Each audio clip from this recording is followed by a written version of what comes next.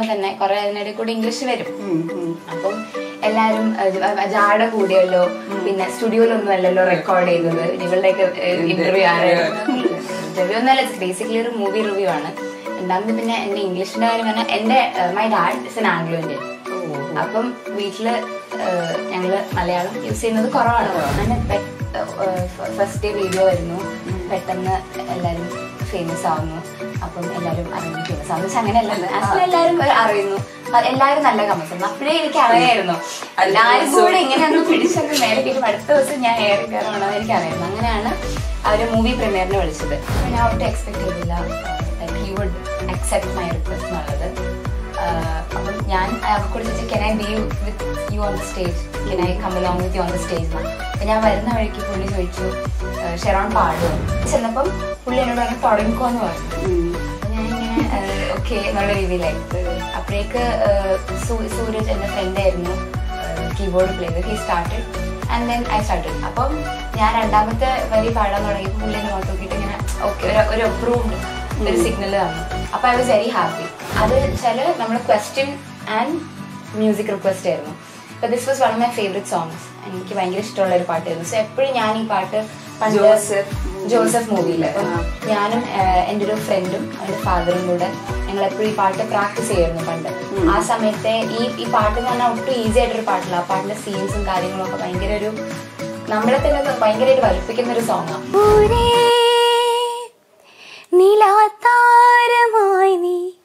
മിഴിച്ചിമ്മി നിന്നിടുമോ? വരാം ഞാൻ. നിനക്കായൊരിക്കൽ നീയുള്ള ലോകങ്ങളിൽ. പാടാൻ പോകുന്നുണ്ട് എന്നുള്ളത്. പക്ഷെ അന്നേരം മൈ മോം വാസ് ലൈക്ക് പൊടി തമാശ പറയാന്നുള്ളൊരു രീതിയായിരുന്നു. പക്ഷെ she was very happy they took it in a very good way very positive way and നല്ല രീതിയിൽ തന്നെയാണ് എടുത്തത്. പക്ഷെ കുട്ടിക്കാലത്ത് മ്യൂസിക് പഠിക്കാൻ തുടങ്ങിയിരുന്നു പക്ഷെ ഇറ്റ് വാസ് നോട്ട് കണ്ടിന്യൂസ് ആയിട്ട് പഠിച്ചതല്ല. ബ്രേക്ക് ഇട്ട് ബ്രേക്ക് ഇട്ട് പഠിച്ചതാണ്. I I learn it for around eight years പക്ഷെ again not continuously learning music അങ്ങനെയായിരുന്നു. പിന്നെ ഒരു ട്രാൻസ് മൊമെന്റിലാണ് എനിക്ക് റിയാലിറ്റിയും ഡ്രീം ആണോ തമ്മിൽ വേർതിരിക്കാൻ പറ്റുന്നുണ്ടായിരുന്നു. So my friends very supportive ഞാൻ ഇറങ്ങിയപ്പോൾ തന്നെ എനിക്ക് ആ പാട്ട് കഴിഞ്ഞെങ്കിൽ ഭയങ്കര സങ്കടം വന്നു.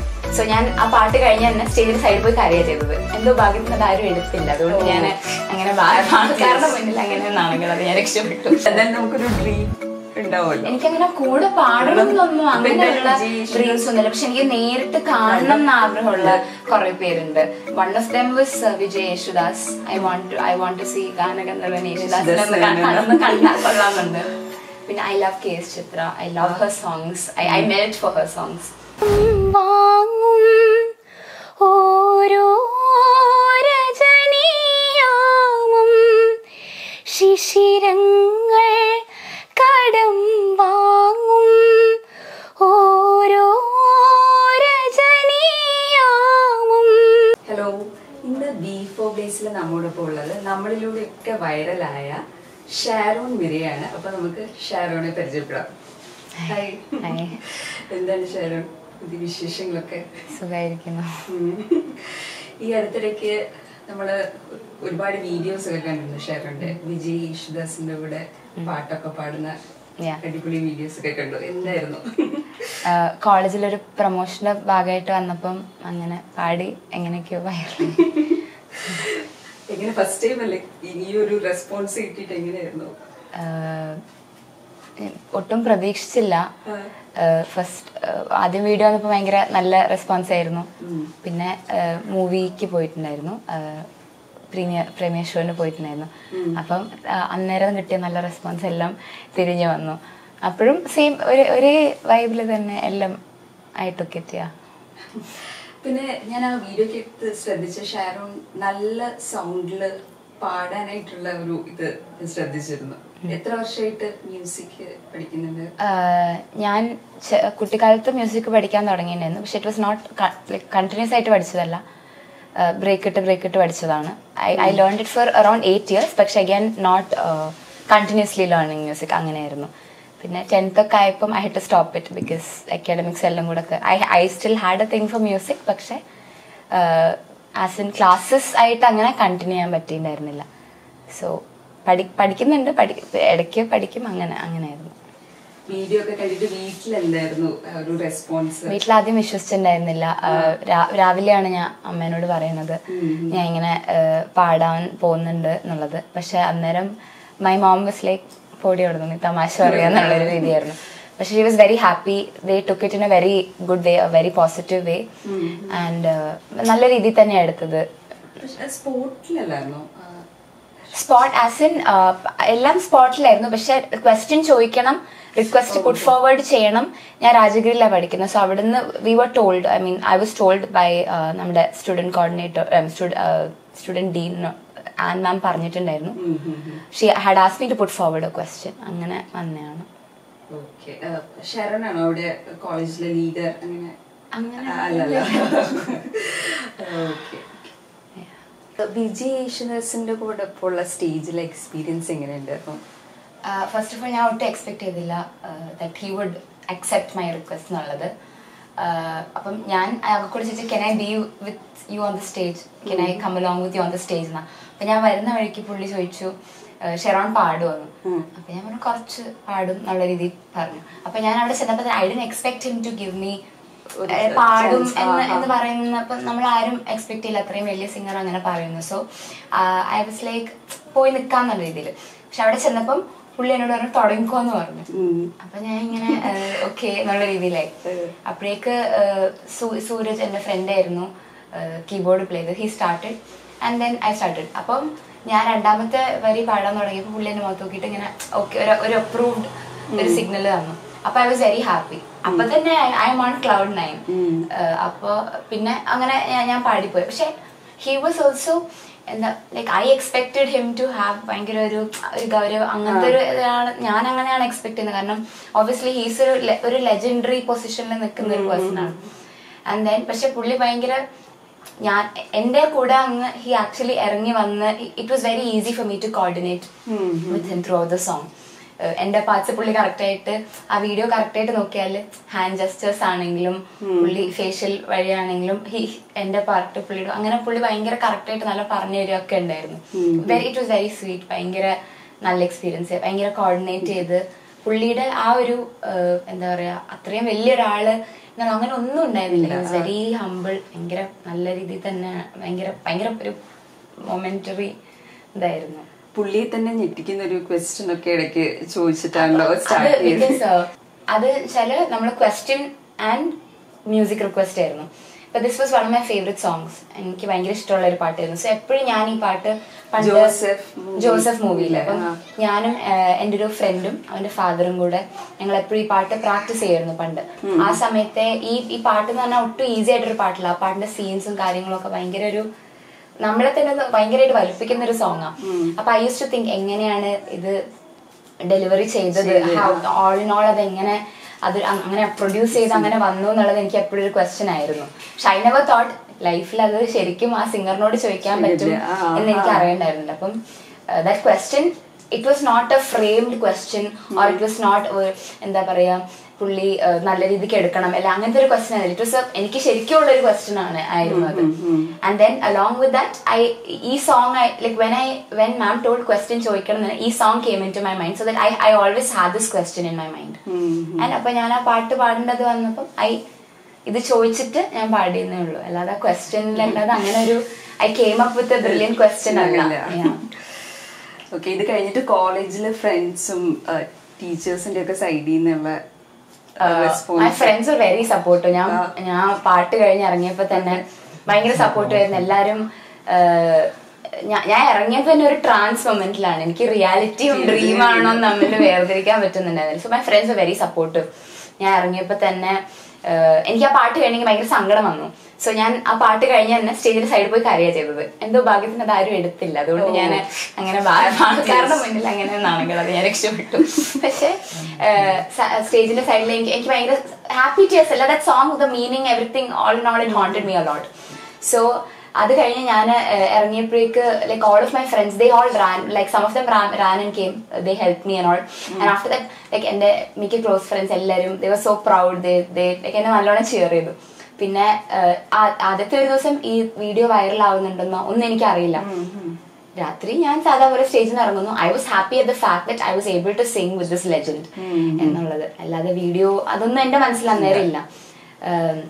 അത് കഴിഞ്ഞ് നെക്സ്റ്റ് മോർണിംഗ് എന്റെ ഒരു റിലേറ്റീവ് ആണ് ഫേസ്ബുക്കിൽ ഇങ്ങനെ ആ ട്രെൻഡിങ് മെല്ലെ വൈറൽ ആവുന്നുണ്ട് എന്നുള്ള രീതിക്ക് അയച്ചത്. അതുവരെ I do I don't know anything in regard with that പിന്നെ ആസ് ഡേയ്സ് പാസ്റ്റ് ആണ് ഓരോരുത്തർ ടീച്ചേഴ്സ് ഒക്കെ വന്നിട്ട് ആ ഇവിടെ തുറന്നാലും നീയാണ്.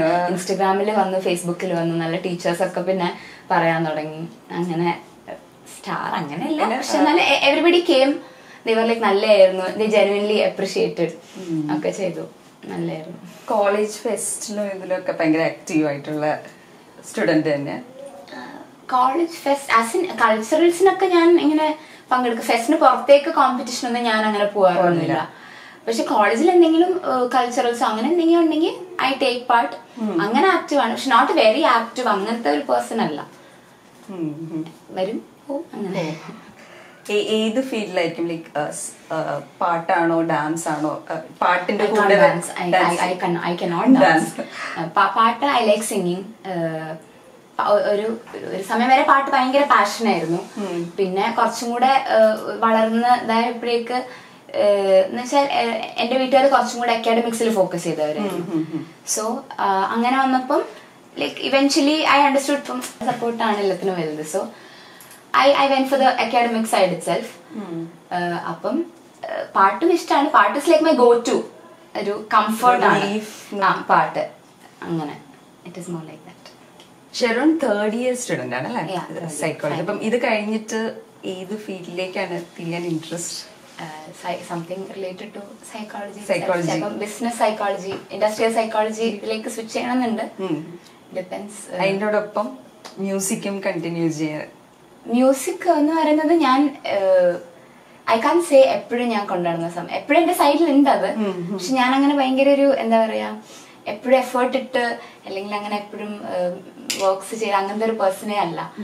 ഞാൻ ഞാൻ വല്ലപ്പോഴും ആണ്ടിനും സംക്രാന്തിക്കൊക്കെ ഒരു റീലിടും അങ്ങനത്തെ ഒരു I constantly sing but it is not often portrayed outside അങ്ങനത്തെ ഒരു പേഴ്സണാ അപ്പം music is always there music എന്ന് പറയുന്നത് അതിന്റെ കൂടെ സൈഡ് കൊണ്ടുവന്ന അങ്ങനെയല്ല. മ്യൂസിക് ഇസ് ഓൾവേസ് ദ പക്ഷെ അത് പുറത്തേക്ക് വരുമോ ഇല്ലയെന്ന് എങ്ങനെയാന്ന് എനിക്കറിയില്ല. മൂവിയിലൊക്കെ ഒരു ചാൻസ് കിട്ടിക്കഴിഞ്ഞാൽ എന്തായാലും അഭിനയം അല്ലെങ്കിൽ മ്യൂസിക് മ്യൂസിക്കിൽ ഒരു ചാൻസ് കിട്ടി എന്തായാലും മ്യൂസിക്കിൽ may be I will I might do it because I like doing it acting എനിക്ക് അറിയില്ല എനിക്ക് പറ്റണ പണിയാണോ ആ മൂവിയിൽ ഇപ്പൊ ഒരു ചാൻസ് കിട്ടുകയാണെങ്കിൽ മ്യൂസിക്കിൽ തന്നെ ഒരു ചാൻസ് കിട്ടുകയാണെങ്കിൽ ബാർഡ് കൂടെ പാടണം എന്നാണ് ഒരു ഒരു ഡ്രീം അങ്ങനെയല്ല. അല്ല എന്നാലും നമുക്കൊരു എനിക്കങ്ങനെ കൂടെ പാടണം എന്നൊന്നും അങ്ങനെയുള്ള ഡ്രീംസ് ഒന്നുമില്ല. പക്ഷെ എനിക്ക് നേരിട്ട് കാണണം എന്ന് ആഗ്രഹമുള്ള കുറെ പേരുണ്ട്. One of them was Vijay Yesudas I want to I want to see ഗാനഗന്ധർവൻ യേശുദാസ് കണ്ടാൽ കൊള്ളാമെന്നുണ്ട് പിന്നെ I love K S Chithra I love her songs I I melt for her songs Shreya Ghoshal very big fan അപ്പം അവരങ്ങനെ കൂടെ പാടണം എന്നൊന്നുമില്ല ഇങ്ങനെ just ഒന്ന് കണ്ടാൽ. കൊള്ളാം അങ്ങനെ ഒരു ആഗ്രഹമുണ്ട് ആക്ടിങ്ങിലോട്ട് താല്പര്യം? ഉണ്ടോ ഇല്ലെന്ന് എനിക്ക് അറിയില്ല. ഐ ട്രൈഡ് ഇറ്റ് കോളേജിലെ ഫിലിം ക്ലബിലൊക്കെ ഞാൻ ഉണ്ടായിരുന്നു. പക്ഷെ അതിൽ ഞാൻ എത്രത്തോളം നല്ലതാണ് എനിക്കൊരു സെൽഫ് ഇവാലുവേഷൻ ഇല്ല ആ കാര്യത്തിൽ പാട്ടാണെങ്കിൽ എനിക്ക് അങ്ങനെ വലിയ അഭിപ്രായം ഞാൻ പാടുന്നുള്ളൊരു അഭിപ്രായം എനിക്കില്ല. ആക്ടിങ്ങിലാണെങ്കിൽ അങ്ങനെ എനിക്ക് അറിഞ്ഞൂടാ ഐ ഐ ഐ കണ്ടെല്ലാരും അക്സെപ്റ്റ് ചെയ്തു. കണ്ടെല്ലാവരും താങ്ക്ഫുള്ളി ലക്കിലി ഈ- അക്സെപ്റ്റ് ചെയ്തു. അങ്ങനെ. വീട്ടിൽ ആരൊക്കെയാണുള്ള? വീട്ടിൽ ഡാഡ മമ്മ. രണ്ടുപേരും. രണ്ടുപേരും നാട്ടിൽ പട്ടിയുണ്ട്. ഓ. പെറ്റ്. ഡാഡി മമ്മിയൊക്കെ നാട്ടിൽ തന്നെ എല്ലാവരും രണ്ടുപേരും നാട്ടിൽ തന്നെ പിന്നെ അതുപോലെ ആ വീഡിയോയിൽ ഞാൻ കുറെ നെഗറ്റീവ് കമന്റ്സ് കണ്ടു. എന്തായിരുന്നു? അത് കണ്ടിട്ടുള്ള അത് റെസ്പോൺസ് ബിക്കോസ് ഒന്നാമത്തെ വെച്ചാൽ ഞാൻ ഫസ്റ്റ് ഡേ വീഡിയോ വരുന്നു. പെട്ടെന്ന് എല്ലാരും ഫേമസ് ആവുന്നു. അപ്പം എല്ലാരും അറിയുന്നു ഫേമസ് ആവുന്നു. വെച്ചാൽ അങ്ങനെയല്ല. ആക്ച്വലി എല്ലാരും അറിയുന്നു. എല്ലാരും നല്ല കമൻസ് ആയിരുന്നു. അപ്പോഴേ എനിക്ക് അറിയായിരുന്നു എല്ലാരും കൂടെ ഇങ്ങനെ അങ്ങ് പിടിച്ചങ്ങ് മേലെ കയറ്റും. അടുത്ത ദിവസം ഞാൻ എയർ കയറാനുള്ളത് എനിക്ക് അറിയായിരുന്നു അങ്ങനെയാണ് അവർ മൂവി പ്രീമിയറിനെ വിളിച്ചത്. മൂവി പ്രീമിയറിനെ വിളിക്കുന്നു ഞാൻ പുറത്തേക്ക് ഇറങ്ങും. പുറത്തേക്ക് ഇറങ്ങുമ്പം കുറെ പേര് വരുന്നു. കണ്ട് ഇങ്ങനെ ചോദിച്ചു മൂവി എങ്ങനെയുണ്ടായിരുന്നു? പിന്നെ apart from that they also ask me how മറ്റേ എക്സ്പീരിയൻസിനെ പറ്റി ചോദിച്ചിട്ടുണ്ടായിരുന്നു. അപ്പം ഞാൻ പറ ഞാൻ നോർമലി സംസാരിക്കുമ്പോൾ തന്നെ കുറെ അതിനിടയിൽ കൂടി ഇംഗ്ലീഷ് വരും. അപ്പം എല്ലാരും ജാട കൂടിയല്ലോ പിന്നെ സ്റ്റുഡിയോയിലൊന്നും അല്ലല്ലോ റെക്കോർഡ് ചെയ്തത്. ഇവളുടെയൊക്കെ ഇന്റർവ്യൂ ആരായിരുന്നു ഇന്റർവ്യൂ ഒന്നല്ല ബേസിക്കലി ഒരു മൂവി റിവ്യൂ ആണ്.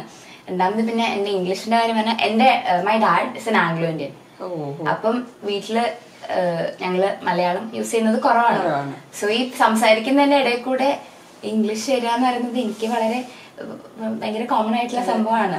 അതിപ്പോ ഞാൻ എന്റെ ഫ്രണ്ട്സിനടുത്ത് സംസാരിക്കുമ്പോഴാണെങ്കിലും ചില സമയം മലയാളം മാത്രമേ ചില സമയം ഇങ്ങനെ ഇംഗ്ലീഷ് വരുന്നത് ഭയങ്കര കോമൺ അപ്പം എല്ലാരും വിചാരിച്ചു ജാഡ ചെയ്തുകൊണ്ടാണ് അല്ലെങ്കിൽ ഇങ്ങനെ എന്താ പറയാ മനഃപൂർവം ഇങ്ങനെ എന്താ കഷ്ടപ്പെട്ട് ഇംഗ്ലീഷ് പറയുന്ന പറയുന്ന. പോലെയൊക്കെ ഉണ്ടല്ലോ അങ്ങനെയൊക്കെ ആയിരുന്നു. പക്ഷെ അങ്ങനെയല്ലായിരുന്നു പക്ഷെ അത് നെഗറ്റീവ് കമന്റ്സ് ഞാൻ അങ്ങനെ ഭയങ്കര എന്താ പറയാ ഭയങ്കര ഫീൽ ആയി. അങ്ങനെയൊന്നും എടുത്തിട്ടൊന്നുമില്ല.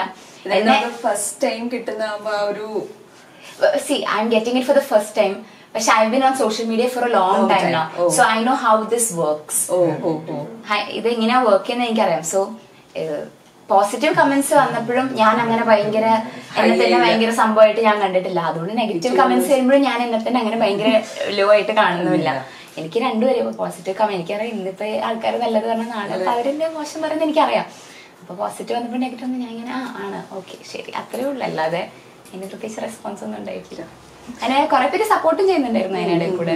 എന്റെ കോളേജിൽ ഒരു ജൂനിയർ ഒക്കെ വന്നിട്ട് അതുകൊണ്ടൊന്നുമല്ല പാവമാണ്.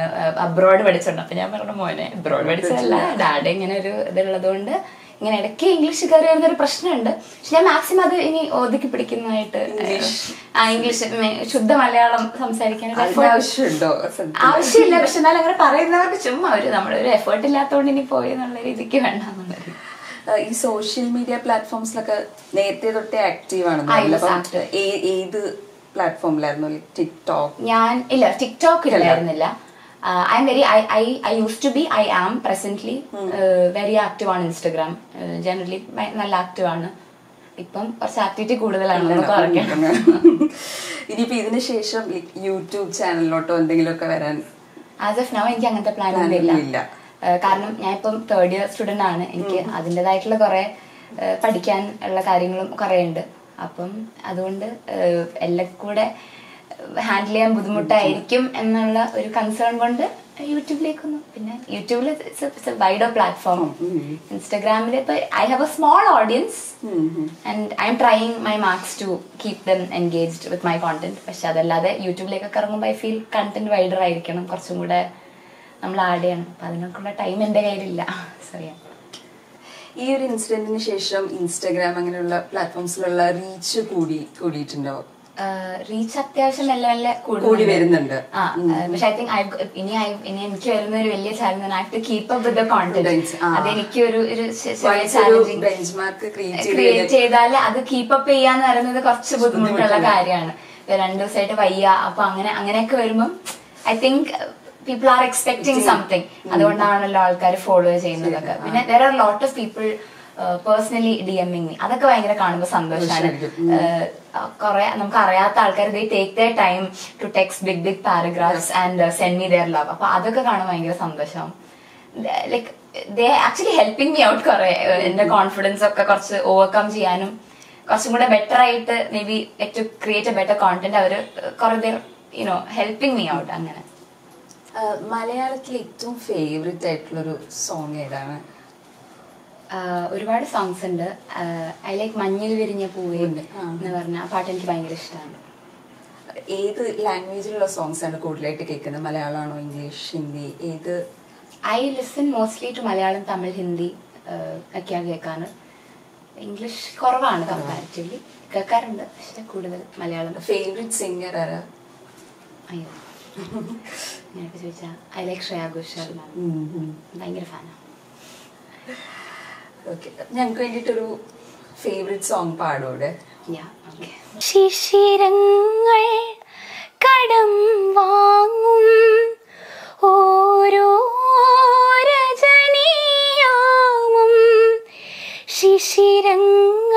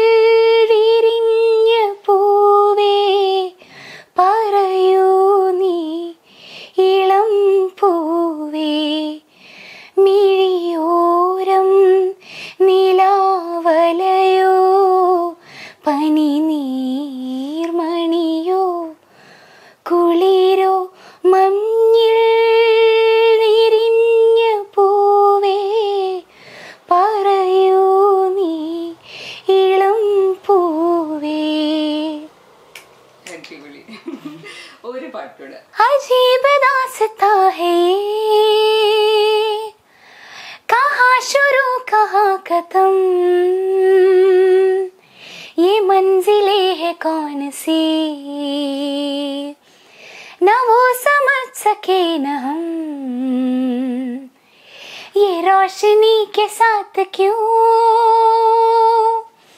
दुआ उठा चिराग से। ये रोशनी के साथ क्यों? दुआ उठा चिराग से। ये ख्वाब देखती हूँ मैं, कि जग पड़ी हूँ ख्वाब से। दासता है ये कहाँ शुरू कहाँ खत्म ये मंजिलें है कौन सी न वो समझ सके न हम അടിപൊളി ഇനിയിപ്പോ ഞങ്ങളുടെ പ്രേക്ഷകർക്ക് വേണ്ടിയിട്ട് അന്ന് വൈറലായ സെയിം പാട്ടൂടെ ഒരു വട്ടം വിദൂരേ നിലാതാരമായി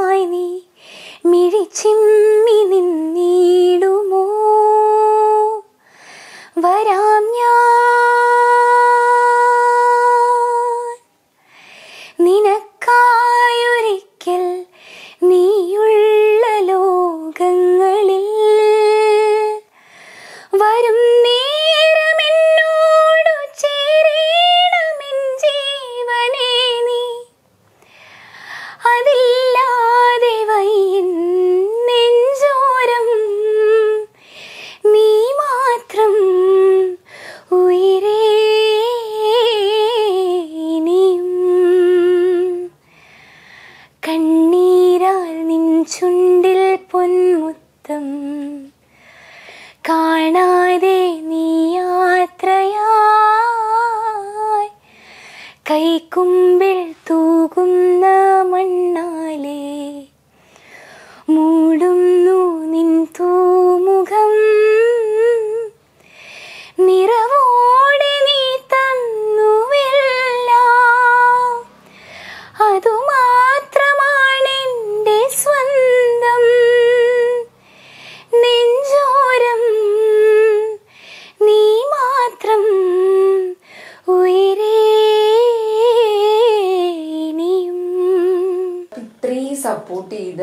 പ്രേക്ഷകരോടും ഫ്രണ്ട്സിനോടും എല്ലാവരോടും എന്താ ഷെറോട് പറയാനുള്ളത്?